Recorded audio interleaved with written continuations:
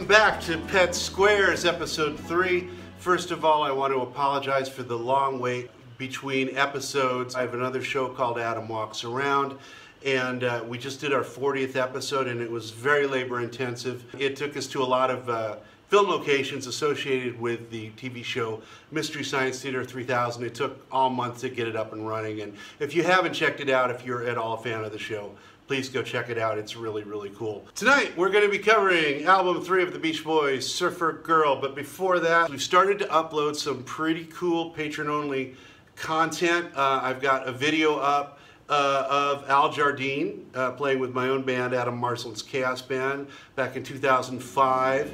Also, uh, my band doing uh, Baby Blue, the Beach Boys song from Light Album. And also, uh, I'm going to be doing a bonus mini episode of Pet Squares where I cover some of the uh, outside productions that uh, Brian and the Beach Boys were involved with in the early time period. So if you want to see all that, uh, any level of being a patron will get you access to those videos. We're really trying to do a higher level of programming than your average YouTube show, like the Adam Walks Around that we just did. That was six months in the making. So just to be able to keep bringing you a high level of stuff on this channel. Uh, kick in for a couple of bucks a month if you can spare it. If you can't, don't worry, just keep watching, right? All right, let's get started. Uh, before we get into Surfer Girl, we have some, uh, some business to cover from the last episode. You might recall uh, that when we were talking about the Surfing USA album, uh, we were talking about the song Lana. And there was a fellow named John Brode who had given me a, a whole bunch of input on uh, some research he'd done on the tracks from that album, and he claimed that uh, there was a faint uh, accordion in the background during the instrumental break on that song. And I rather dismissively said, uh, no, I think that's Mike's sax, which we can hear sort of blazing away in the background all through the album. A friend of John's, a guy named Will Carrar, Will, I hope I'm saying your last name right, uh, chimed in and said, not so fast, buddy, there's definitely an accordion on there. Uh, and then uh, sparks flew international, emails were sent, people were consulted, and uh, finally I was given uh, a top secret super extraction of the session, and I was proved wrong. There really was something back there that sounded like an accordion and it was playing in perfect fifths with no problem with the transition. So it wasn't a sax, it was an accordion. Or was it? Because I started listening a little further and I said, hey guys, you're right, it's not a sax, but it's playing a perfect fifth. The transitions are almost flawless. If you're a keyboard player or an accordion player, that's a really weird fingering. I'm thinking that this isn't an accordion per se, but something with a, a, bunch of push button stops set in fifths so you could play over them in a major or minor key. Something like a squeeze box or a toy accordion. And they said, no, I don't think so, because Brian had an accordion when he was a kid, and they sent me a demonstration tape showing that you could physically play it in the accordion, and I said, well, yeah, you could physically possibly do it, but the fingering's really weird, and why would you want to? You're just doing this dumb little, you know. Anyway, the bottom line is, we don't know what it was, but there's some kind of reed in the background of Lana. It's, uh, I think it was a squeeze box or a toy accordion. They think it was Brian's accordion, but we all agree that it wasn't the sax. So Mike, with great apologies to you, we are decrediting you on the sax on Lana. You didn't play on it. Sorry, buddy. So uh, I want to uh, say, because this is going to come up in the show again, that these folks that were giving me this information. They're not just a bunch of books. Uh, they're actually helping uh, Craig Slowinski, who has consulted heavily on this show and is one of the world's leading authorities on who played what on Beach Boys records. And uh, Will and John and their friend Jocelyn have gone through and listened to these uh, tapes and these extractions over and over and over again. Uh, and they've uh, given Craig a lot of input on, uh, on uh, who played what and who sang what based on their listening. And now that I'm sort of in the loop, uh, I'm not going to get caught with my pants down again. And before I argue with these guys, I'm going to make sure I'm hearing what they are hearing, which happened in this episode as well. So we'll continue that fun little debate. Okay, so that's the end of the accordion crap. Now, on to the overview of Surfer Girl, the Beach Boys' third album. It came out in 1963, the year of our Lord. The date was September 16th. Uh, the Wikipedia entry is pretty small. It, uh, we, it does say that Pitchfork, who we all care deeply about, uh, claim it was the 193rd greatest album of the 1960s. If Pitchfork says so, it must be true. This comes out at a really interesting period in the band's history. Now, they've uh, broken through with Surfing USA and then Surf City, which uh, Brian at least was involved with, and the whole band was involved with the album around that.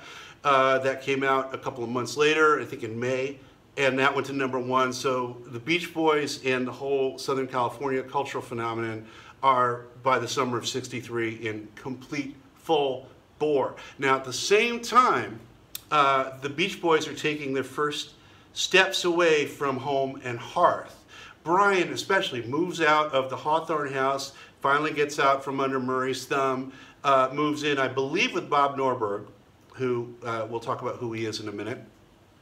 And uh, Brian, at this point, uh, he's, you know, he's done this rock band thing for about a year, and he's already, through Jan Berry, uh, he's already met the Wrecking Crew guys, and he's starting to get bigger dreams and bigger ambitions. He starts producing outside artists, especially uh, a band called The Honeys, which contains his future wife, Marilyn Wilson, and her sisters uh, and a, a, session singer named Ginger Blake. And uh, he's going to start having sort of uh, ambitions to be a producer. And the Beach Boys are going to be just one of his sort of things he's going to do, right? Uh, now, Murray, of course, not crazy about this, uh, but Brian, for a time, gets a little bit of autonomy because the band uh, starts going on the road, and you think Brian, he left the band uh, the, he left the touring band in 65. Au contraire, he did not. He actually first left the band in 63. And this was not widely known in Beach Boys history until the last 10 or 15 years uh, when a lot of people like uh, Jon Stebbins uh, did a lot of research on the band's early history. And it was discovered that uh, the, uh, the dropout of touring that Brian pulled in 65 had precedence in 1963. Uh, my notes here state that he was already backing out of tours as early as April 63. And who did they bring in to replace him? Well, we have the return of the man, AJ Al Jardine, who was in at the beginning with the band. He went off to do something that wasn't dental school. And uh, Brian called him back and said, hey man, we need you to play bass, which you know, in the early days was kind of wild because Al's a small guy and bass is pretty big, so he's he's kind of a little gangly that way, but you know, he can handle the bass pretty well. And Brian is like, yeah, see ya, I'm going home. And Al and Dave Marks are both in the band, in the touring band, uh, for much of 1963, while uh, Brian is home doing other stuff that he'd rather do. So this is the situation when the Beach Boys go in to cut Surfer Girl, the song and the single, and also the album Surfer Girl, which takes place in the summer of 1963. We don't know the exact dates because most of the session information has been lost, but uh, what's really clear is the band is in transition because now Al Jardine is there, uh, Nick Venet is out, the uh, producer of the first two albums. You have Chuck Britz, Brian's favorite engineer, doing most, although not all of the sessions from what I understand. Uh, Murray Wilson producing from the booth, and then Brian in the room with the band producing them. Except now, Brian, who's actually developed quite a bit as a bassist in the last year, he doesn't have to play bass anymore. And so from here on in, Brian's development as a bassist goes because he just doesn't care. I would I would guess, um, and uh, you know he starts throwing other people on the bass so he can play piano or just direct. Okay, so as usual, in the 60s, the first song on the Surfer Girl album is the title track and the lead single, Surfer Girl. Uh, this is one of the classic Beach Boys songs. It was the first song uh, Brian ever wrote, 61-ish.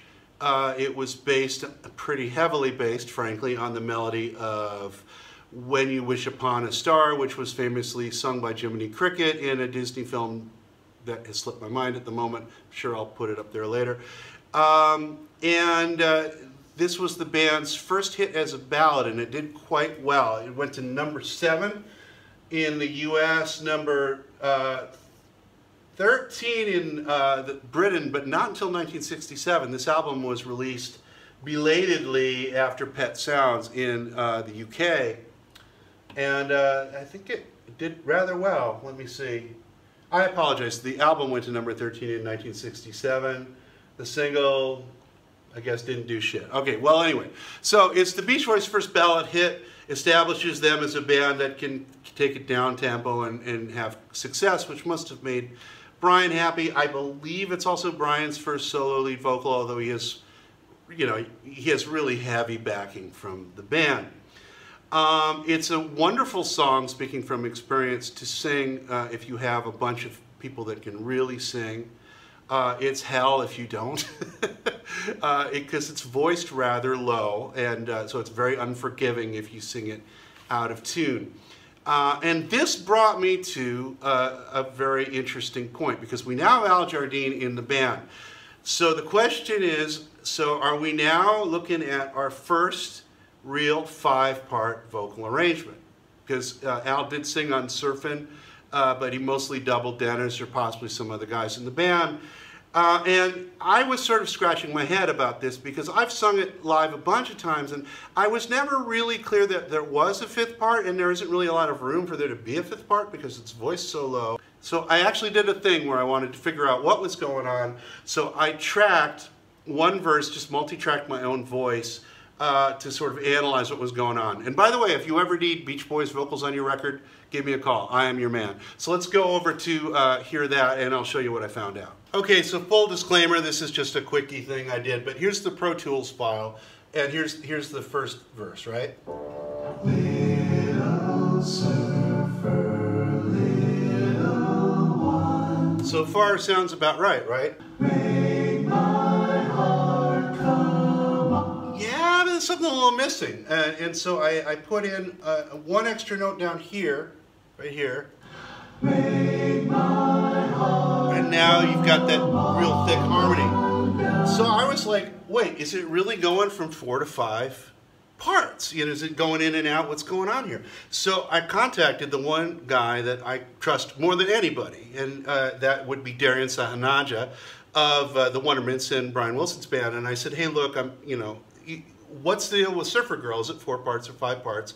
Or is it a little of both? And Darian blew me away with his answer because he said he'd always wondered the same thing. He said that uh, on this song and on I Get Around, it seemed like there was sort of a ghost part that was coming in and out, and he could never quite track down what it was doing.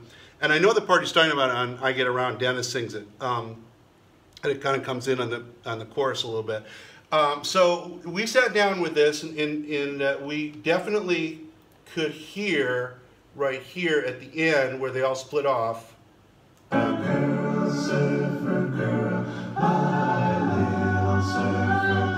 So to break it down, you've got you've got Brian up here. Brian on a really bad day, of course. My little surfer girl. You got that? Surfer girl. There's Mike. My little surfer girl. That's probably Carl. And then here's the fifth part. My little surfer girl. So anyway, this got even more interesting because uh, I wanted to make sure that uh, I had my transcription right because I just got, you know, I just listened off the internet and banged out the parts and I sent it to Darian and he said, yeah, it all sounds right, except you've got an extra, you got Mike going low uh, here. Uh, and he said, Mike, Mike doesn't do that all undone or all undone. I couldn't tell which. And I said, but I'm pretty sure I hear a low G there, man. And he's like, yeah, but it's a harmonic of the harmonies. It's, a, it's an audio illusion. And he called my attention to the fact that uh, you couldn't hear it on the third verse, which he was right. So, who's right? Me or Darian? Darian, most likely, right? But we can't be 100% sure because is it possible that uh, they added another low part that wasn't part of the original arrangement and then as soon as they went back to singing it four parts live, they forgot all about it for the rest of history? Yeah, Absolutely, because we know we had five guys there. We know Brian was looking for places to stick Al in and maybe rearrange a couple spots to make it five parts. So uh, it is possible that I'm hearing actually five parts. And this kind of goes to sort of my general theme with this is that unless you have crystal clear uh, tracks of the original vocal sessions, and sometimes not even then because the guys can sound an awful lot like one another, uh, it's very difficult to be 100% sure about who's singing what at any given time on uh, these records. And so I try to have a little bit of humility about what I do and don't know. I'll, I'll definitely get my back up if I think something's wrong, but you know, at the end of the day, my motto is, I wasn't there. Um, Darian's probably right, but I can't disprove that I'm hearing a low G. So if you guys want, tell me in the comments, do you hear a low G? You hear that on the record or no? Let me know. I should go over who's playing what. It is actually the classic uh, uh, lineup of Carl and Dave on interlocking guitars, Brian on bass, Dennis on drums. It's a, basically a band recording. All right, next track, Catch a Wave, one of the Beach Boys' better known tunes, although uh, not a hit single. Uh, if I recall correctly, this was on the Endless Summer um, compilation that came out in 1974 that basically put the band on the map, and I think that was about when Catch a Wave sort of became sort of one of their hits that everybody knew. It also was familiar because it was used by Jan and Dean, uh, for their uh, recording of Sidewalk Surfing. They basically made up new lyrics about skateboards instead of surfing, and they had a mid-level hit with it. I think in 64, I'd have to check, and I'm not gonna. Um, this is one of uh, a couple of songs on this album that has a retroactive Mike Love lyric credit, probably deserved uh, in this case. And this is when we start to see the birth of the true uh, five-part harmony period of the Beach Boys, where uh, Brian would have these integrated arrangements where the lead vocal and the backup vocals, they'd all be part of the same arrangement. Uh, Brian would shift into the falsetto, then he'd fall back into the backing vocals. Mike would do his lead vocal, and he'd fall back down into the bass. And they started to do some uh, really interesting stuff. Like this uh, intro, again, speaking from having sung it a lot, uh, has some really cool uh, cool parts. Uh, if I remember, like catch a wave and you're sitting on top of the world or something like that. It's been a while, but they go all over the place. They're really tricky to sing and they're fun if you get them get them right. Not so fun if you forget them. Um, something that was uh, that was called to my attention from uh, Craig's research team that I think is pretty cool. Uh, they noted that Dennis appears to be doubling Mike uh, in a couple of spots in the lead vocal. Uh, you can hear him in one channel on Sport Around uh, and uh, and a couple, um, couple other places. Sounds like he's just standing next to Mike and just kind of leaning in and adding it in. I never heard that before. That's pretty great. According to Craig, uh, the band is uh, Al Jardine on bass, David and Carl on guitar, Dennis on drums. Uh, Mike Love's sister, Maureen Love, who went on to have a pretty great career as a classical musician. She plays harp in a few places, and those cymbal, uh, those cymbal uh, things. That is the first appearance on a Beach Boys record of Hal Blaine, who is widely believed to have played on most of their hits, uh, erroneously, but he did play on a lot of their records, and this is the first time we have him uh, playing on a Beach Boys record. I don't know. I mean, the song's cool. I do have a little more affection for the Jan and Dean version because the backup vocals on that say bust your buns, bust your buns now, and I don't think the Beach Boys ever got that blue.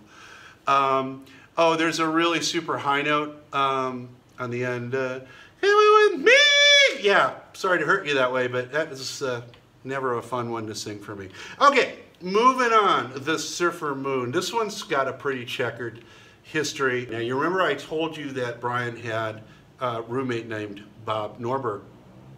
Well, Bob was a musician and uh, he sort of became the guinea pig for Brian's uh, production aspirations. And uh, Brian did a pretty cool little record for them. It was released in October of 62 under the name Bob and Sherry. I believe Sherry's name was uh, Sherry. Oh, I, I, I, didn't write it down. Sorry, Sherry, I suck. Uh, but a really cool little record. And so I guess they redid this with Bob Norberg, again, plus a woman named Vicki Kocher, and they rewrote the lyrics and called it The Summer Moon. This was recorded at United Studio in May 1963, so a little prior to the Surfer Girl sessions. Uh, Jan Berry was involved. Uh, he did uh, Brian and Bob a solid and wrote up the orchestral charts. Uh, the acetate of the Bob and Vicki version of the song, which was never released, turned up on the Big Beat 1963, a, uh, copyright uh, mandated micro release that, that came out through Capitol a few years back. Um, and that track, that May 1963 track, was then repurposed for the Surfer Girl album with Brian double tracking himself. So there are no other Beach Boys on this song. Very sort of early 60s, pre-Beatles kind of strings. Uh, Jan was sort of fond of those, as you'll hear from some of their uh, pre-surfing singles, so it's in line with that. Uh, but even though there's no real band involvement on this, this does stand as the first Beach Boy song with a full string orchestra on it. It's also sort of, along with Surfer Girl, the point where Brian starts to be able to really sell a song vocally. He could just melt you by singing a ballad. Uh, this is where he starts to, to really be able to direct and focus his vocals to, to give you that kind of performance. You have Hal Blaine on this track. Also, uh, although as I said, this predates his involvement on the prior song, it wasn't a Beach Boys session. Uh, also Ray Pohlman, another of the Wrecking Crew on bass, Bob Norberg on guitar, Brian on piano for this song. A cool little song. I love the melody. Now Brian's really doing some good melodies. Okay, next we got South Bay Surfer. A fascinating co-writing credit. It's Brian, Dennis, and Al but actually really Stephen Foster because the song is Old Folks at Home, aka Way Down Upon the Swanee River, repurposed with surfing lyrics. You just put some surfing lingo on there and you can just take any damn song and make it a surf song. I assume that Dennis is responsible for some of the uh, more South Bay pride stuff and Al probably got a co-writing credit for just suggesting uh, to Brian that they do an old folk tune. Again, not the first time he would do this. Al being the band's resident uh, folk enthusiast. But anyway, this uh, song is all sung in one voice. It's a single track, all the guys around the mic just yelling. Uh, there is some indication David Marks may be singing on this. This is sort of a backwards indication from some stuff we discovered about the song Surfer's Rule, so put a little asterisk on that when we get to Surfer's Rule. There's a great little moment on this song uh, where uh, the drums have a break and Carl on, on, the mic just goes crash. I love it. A little moment of personality from Carl. I don't know if Carl wanted there to be a crash there and nobody would put it there, so he just put his own crash on. Um, some of these lyrics are goofy. Back to Old Miami. Back to Old Miami, yeah. Uh, musicians on this, Carl playing bass and lead guitar, David doing the rhythm guitar on the basic track, uh, Dennis overdubbing some drums on this, and uh, Mike's giving us the big one. Okay, next, the Rockin' Surfer. Uh, again, uh, Craig has informed me. Uh, by the way, I really want to call out Craig uh, on this one because they had just finished analyzing this album, and Craig was really passionate about this record, and he gave me a ton of information that I am delighted to share with you. So thank you very, very much, Craig. Um, so um, according to Craig, this is based on a popular Southern California me me melody, melody called The Good Humor Man, which in turn derived from a Czech or Polish folk tune called Stodola Pumpa. Didn't know that. Um, this sounds a little bit more like the previous album. It's got the kind of murky, reverby vibe. That's not a bad thing. Uh, it's actually got a ton of uh, vibe with its pumping organ and its distant fat snare. It's mud, but it's good mud. Uh, apparently, uh, Murray was very excited about how this came out. I'm trying to imagine how that manifested. Al was on bass, Mike was on sax, but they wiped his part, so Mike, you're decredited again. There's some weird ass things that happen two minutes in. There's an unexpected key change on the volume suddenly gets louder. Um, Dave tries to go off the reservation once again and show his lead guitar playing chops, but uh, fails because he's faded out before he can really get rolling. Um, there's some indication that uh, when Mike's sax got wiped, Dennis's drums got wiped as well. Uh, and uh, Craig believes it's most likely Carl Wilson. And one of the things that's come out as we analyze these early records is Carl's quite a musician. Carl is a pretty capable drummer, even from the early days. Uh, and as we see, he's playing bass quite a bit here. Um, and uh, later he'll pick up keyboards as well. So Carl, uh, yeah, very hidden depths with that man in many ways. Moving on, Little Deuce Coupe, uh, another uh, big hit of theirs and will become a repurposed title track of their next album, which will follow just one month after this one. Little Deuce Coupe is another Roger Christian co-write, a Los Angeles DJ who had a real way with writing lyrics about car, cars. Uh, I sung his praises on the last episode. Little Deuce Coupe, uh, I think was the, yes, it was the B-side to Surfer Girl uh, and it made number 15 as a freestanding B-side. As Mike Love pointed out, uh, they started to have a strategy around this time that uh, the coastal regions would uh, resonate with the beach and surf culture, and they wanted to start uh, doing content that would resonate with the heartland, with the landlocked states, and so they started consciously getting into uh, car songs, the band all being car enthusiasts, Dennis and Carl in particular. Um, now, there was a, a, quote from somebody or other, I forget who it was, but that, uh, that Brian was having a real uh, crisis at this time because he did not know how to tell Dennis that his drums on uh, Little Deuce Coupe had been replaced by Hal Blaine. Um, and this is widely believed to be the, the point where Hal starts taking over from Dennis. Once again, this is bullshit. Uh, Dennis played on this track, not Hal Blaine. We don't know what, you know, this may have been uh, referring to some other song at some other time, but Dennis does indeed play on Little Deuce Coupe, and there's no indication that Hal played anything at all on it. Um, this was done at the same session as Surfer Girl and Catch a Wave, and uh, each of those songs had a different basis. Surfer Girl, it was uh, Brian. Catch a Wave, it was Al. Uh, on this one, Carl is playing bass. Uh, Dave is the only guitar. Another great uh, integrated vocal arrangement uh, where Brian sort of splits off for the main vocals and, and back. Uh, he uh, does a great piano break, Brian does at uh, one minute and one second in. Uh, the song is also in the key of A flat, a rarely used rock and roll key, but you know, it's what they did.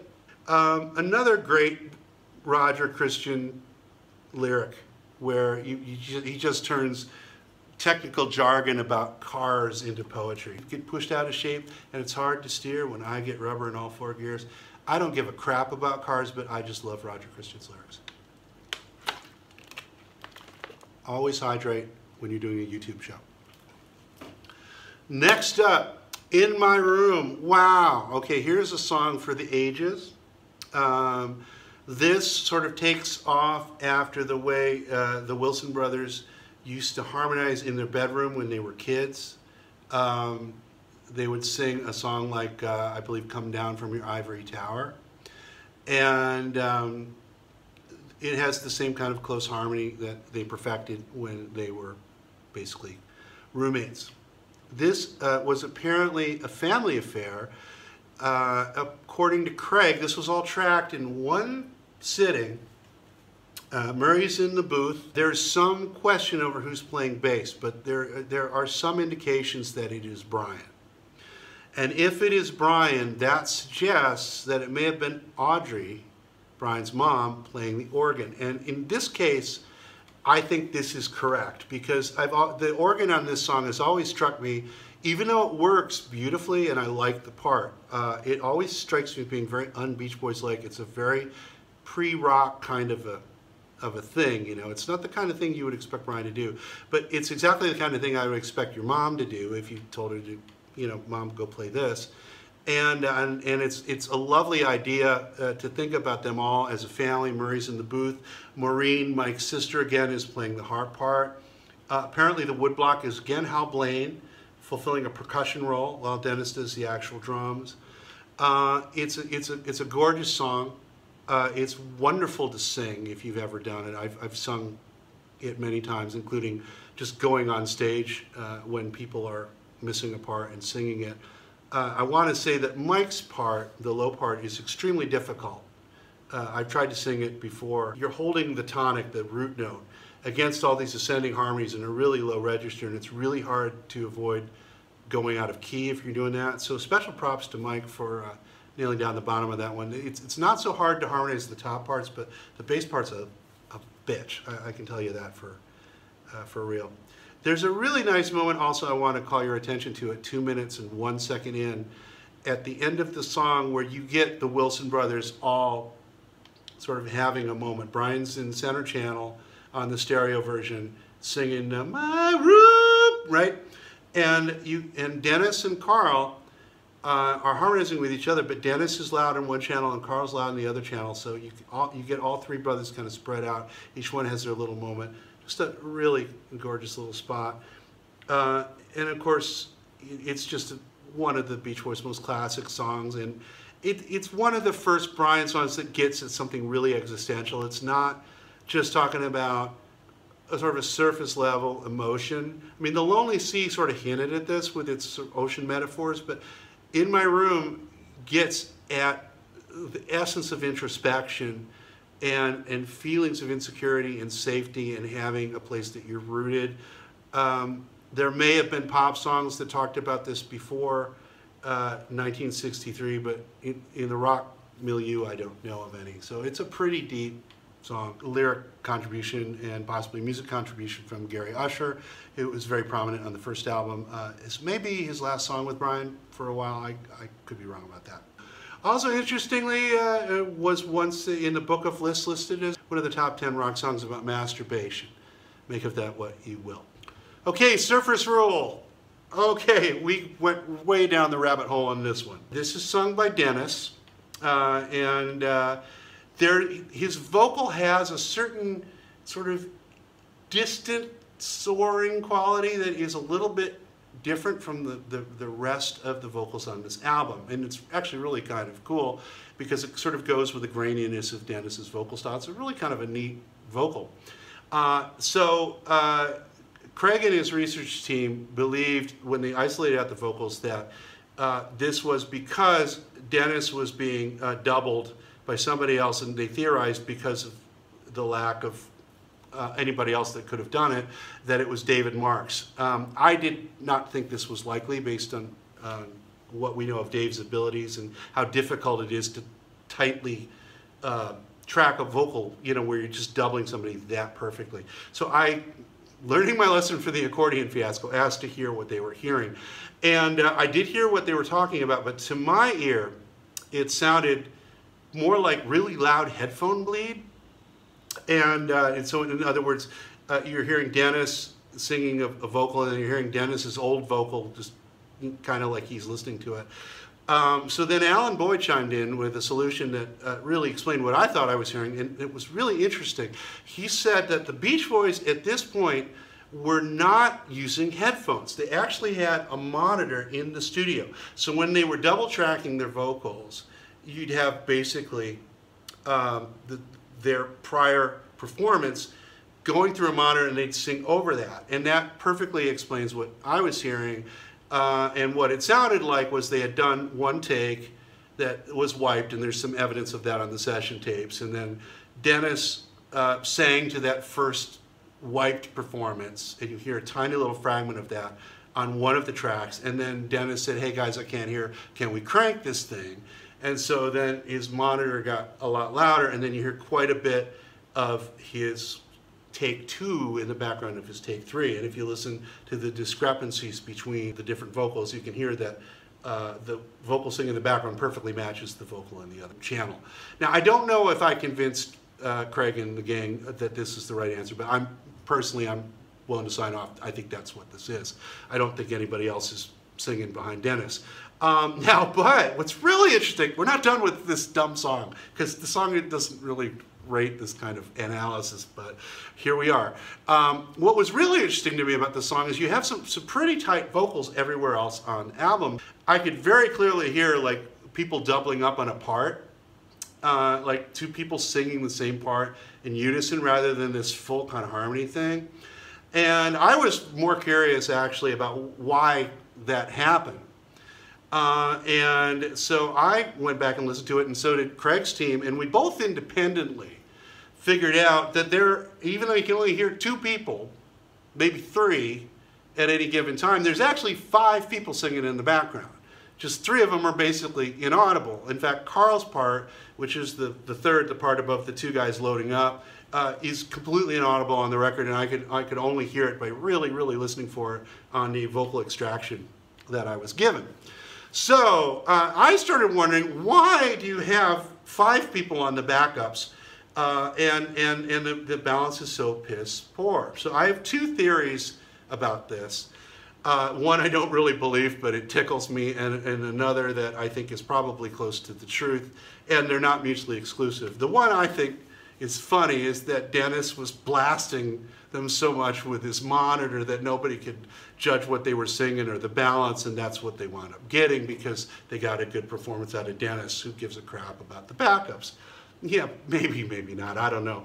But um, you had five people there and you had two people doubling, and what it really does sound like is that they ran out of room around the mic. And so you had two, maybe three people on the mic, and Mike Love, being the baritone, would have been one of those people to get close because he usually had to be on his own mic because to sing those low parts, you have to be right on the mic. So now you've got three people, uh, with Mike probably being further away from the mic than he likes to be because Dennis has got his mic over there, right? And then you've got these two guys doubling up, and then you've got Carl and probably Brian, although whoever's doing the falsetto is not doing a very good job. So that's also a little mysterious, but you can't really hear it. So I guess it's Brian, you know? Um, so, but then why five people? So now we're getting back to Dave Marks again. There's evidence this was cut on the same day as the song South Bay Surfer, which is all the guys singing in unison. They're basically just yelling. So it's conceivable that Dave sang on that, even though you can't really hear him. But if, if, if it's just a gangbang vocal, everyone's just all singing one part, why not have Dave there? So if Dave was already there and Al was there, which he certainly was because he co-wrote South Bay Surfer, or at least he assisted in its theft from Stephen Foster. So now we have a scenario where you've got Al and Dave, and it makes sense that they might double each other because Dave's the weakest singer in the band and Al's sort of an unknown quantity. So they basically get those two right on the mic. They got to put Mike right on the mic um, to, to, because he's singing low, and then Carl and Brian are in the background. And I don't know why they didn't judge the the balance better, but it may just be they just couldn't project enough to overcome the uh, the uh, the Dave Marks Al Jardine vocal onslaught. I don't know. That's my theory. It holds up to me. And it is also possible that Dennis was just blasting the crap out of him and they couldn't tell what the hell they were doing. So anyway, that's Surfer's Rule. Um, some other things to cover about the song as if we didn't analyze it enough. Carl Wilson, in an interview in 1973, expressed embarrassment about this song, uh, calling out the four seasons at the end. Um, he said basically we were punks. That was our thing at the time i believe was his comment. Um, it is kind of fun to hear brian uh, taking off on frankie valli at the end. His uh, falsetto part from big girls don't cry. And uh, you can really hear the difference in, in their falsetto style although brian did get more frankie like later in life in his in sort of 80s period but at that time he had a much sweeter and rounder tonality. Uh, according to craig uh, there was an interesting thing that happened in the sessions that uh, Brian played bass on the earlier takes of this song, and then Carl took over, and Brian was playing with his thumb, kind of playing quarter notes, and Carl was much more aggressive, according to uh, Craig, in his approach, playing with a pick. So that kind of gives you some ideas to their individual playing styles. Uh, Brian was on piano, Al Jardine apparently in the booth uh, offering um, advice and telling Murry to syncopate, I guess. Anyway, next is Hawaii. So Hawaii is another one of these Beach Boys phantom hits, like Catch a Wave. It was never released as a single, but people kind of know it. Beach Boys tribute bands do it a lot. Um, this uh, one, a lot of people think Dennis sings this. It's not Dennis, it's Mike, Mike, Mike, Mike, Mike. He just had a cold. His voice is hoarse, like mine's getting from talking for 30 minutes. You know, it's funny, if you listen to Mike on the on the bass vocal, he sounds kind of satanic. I think because of his cold. So if you're one of those people that think Mike Love is Satan, uh, there's your proof, I guess. Um, I don't particularly hold to that line of thinking, just for the record. Um, but yeah, he sounds pretty, pretty, you know, down there. Um, there was a little bit of controversy between all of us about who was singing what on this. Um, uh, we finally all agreed that it is Al, Dennis, and Carl on the uh, triad. Uh, uh, although there's some question about who's singing what, we all pretty much agree that Dennis is in the middle. It's a really, really low harmony. It's one of the reasons it's kind of hard to tell who's doing what. Uh, but it's really cool, you know, and you got the satanic bass vocal. You, you gotta love that. Al is playing bass, Brian's on very faint piano, uh, then it's the usual team of Carl and Dave on guitars, uh, Dennis on drums. Uh, I believe this is another one where uh, Mike Love got a retroactive lyric credit. Yes, indeed he did. Okay, moving on to Our Car Club. Uh, one of the things I try to do when I do these shows is um, listen for myself in full ignorance of what's there and then ask questions and then get all the background stuff so I can form opinions with my own ears and then sort of find out if I was right or I was wrong. And one of the first things I heard on this is it did not sound like a Beach Boys track. It sounded like the Wrecking Crew. I heard a little snarl in the background that I recognized from a lot of Jan and Dean records as being Glen Campbell's uh, little lick that he liked to do. sounded like uh, Hal Blaine being pretty heavy on the toms and the verses, not Dennis's thing, and it was indeed a um, Wrecking Crew session, and it was originally a track done for the Honeys, the band I mentioned earlier. It was called Rabbit's Foot, and uh, but uh, some of the Beach Boys do play on it. Apparently, Carl and uh, Dave, at least, are on it, and Dave recollected later that they were really excited because they were getting to play with the great Hal Blaine. And so this may be the first or one of the first instances of the Beach Boys sitting in on a Wrecking Crew session. Um, this is sort of a tougher track, tougher sounding track than the Beach Boys did. It's got a little more snarl. There's a really nice uh, baritone uh, sax on that. Uh, Steve Douglas and Jay Migliore doing the horns on this. Um, Carl is playing bass, I guess, uh, which I assume means Dave's on rhythm guitar. Um, and uh, I wonder, because the, the band track on this is really, really, really far back, I wonder if that's partly because uh, it wasn't the band playing on it. I don't know, but the, the band is kind of buried on this. Um, Dennis, very prominent on the backups. This is another one where it sounds like um, they, you've got five guys on there, although I didn't research this one very deeply, to be honest. This has got a nice Mike Brian sort of ping pong vocal thing going on it. These kids are doing a car club, and uh, even though they're going to have the, a rough and tough initiation, they're still going to make sure they've got their sponsors' jackets on, and you know, I don't know. All sounds pretty milk toasty to me, but I never was in a car club, so what do I know? Um, next, uh, Your Summer Dream. This is the first appearance of 12-string guitar on a Beach Boys record, uh, played by Carl. Uh, David Marks plays acoustic guitar on this one. Um, Brian, once again, selling it with a vocal, just a lovely melody. In her eyes, you see a gleam. Yeah, we're back to the cuckoo clock thing where there's something going on on the beach, I'm just telling you. I can tell it was a hard song to play on the guitar, especially with the 12 and the acoustic. There's some uh, clams on bar chords you know, where they're sort of muted notes. The track nearly breaks down uh, at 1 minute 44 seconds when the, the whoever was playing bass, uh, and I'm, i think it might have been Brian on this one, uh, I'll check that in a minute, uh, but sort of panics when he hears the, the guitar start to go. So the track nearly goes at that point and then they, they get it back on track. Um, some very nice bass drum work on the fade out of this song and you can tell Dennis is really uh, developed as a drummer. And yes, Brian on bass on Your Summer Dream. Uh, this leads us to the final track, Boogie Woodie. Instrumental, free pass. Uh, another, another way to just get a track banged out for Capitol. Uh, more of that fun, distant organ. I really like the, the sound of this one.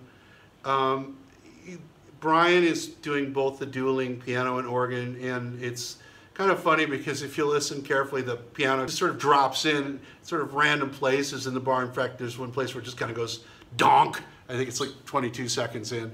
Al's on bass on this one. Uh, I do want to point out that the rhythm track gets kind of ahead of itself. Um, that's uh, Dennis is doing. He gets excited, starts pushing the beat. In the 70s, when he was cutting tracks, he, he became a much more of a deep pocket player. And I've gotten into arguments with people on YouTube about how good of a drummer uh, Dennis was. I tend to think Dennis was a superb drummer at a particular thing, which is making a simple beat sound compelling. Dennis makes a 2-4 sound like the apocalypse.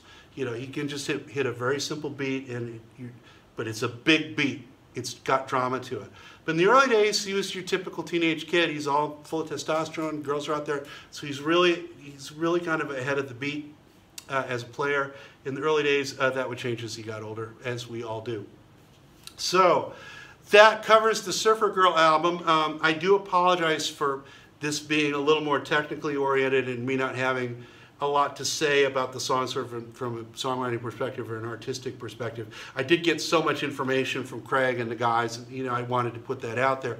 Uh, overall, I, I would give this album, I guess a seven. The, the two songs that are basically Brian's solo songs, Your Summer Dream and uh, the, the Surfer Moon, Brian's singing and the melody really sell those songs for me. They're really, really wonderful in that respect. So th those songs really elevate the album. So I want to remind everybody, if you want to see the bonus episode that I'm going to be cutting very shortly about the Beach Boys outside stuff, or the Al Jardine performance, or the performance of Baby Blue, or any of the other Patreon-only content I'm going to put up, consider becoming a patron on Patreon or through PayPal. Check the first comment uh, for how to do that.